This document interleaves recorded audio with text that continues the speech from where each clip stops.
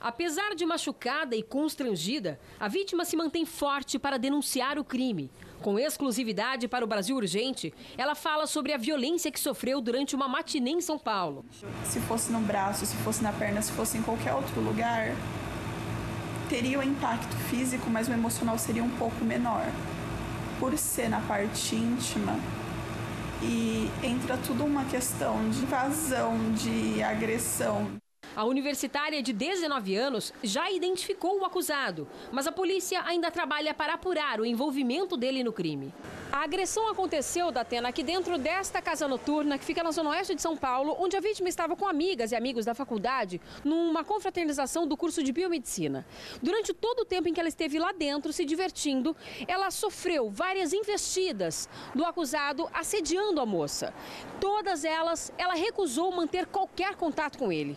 Indignado, ele então resolveu pegar a garrafa que tinha o tempo todo nas mãos e bateu violentamente na moça. Eu tava dançando, como eu disse, ele pôs a mão na minha perna, eu tirei a mão dele e ele tava com essa. Parecia assim, ele tava grudado com essa garrafa o tempo todo. Que a gente tava dançando funk, então eu senti uma pressão muito forte. Nisso que eu olhei, eu vi a garrafa, ela tava, ele pôs no palco, a garrafa estava no palco na hora, então eu não sei dizer se ele bateu e soltou ou se ele pôs embaixo de onde eu estava porque tinha mais meninas lá.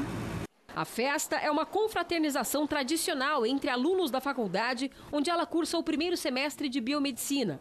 O evento começou a uma da tarde e iria até às nove da noite. Eram oito e meia quando a vítima foi atacada enquanto dançava com as amigas.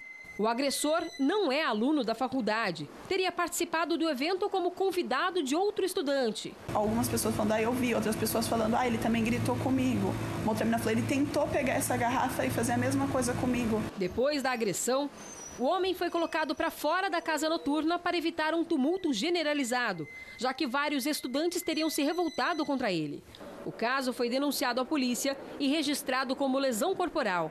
A polícia deve intimar testemunhas e também o acusado para apurar como tudo aconteceu. Eu tive que fazer uma cirurgia. A médica falou que é mais ou menos três meses para ficar recuperado 100%.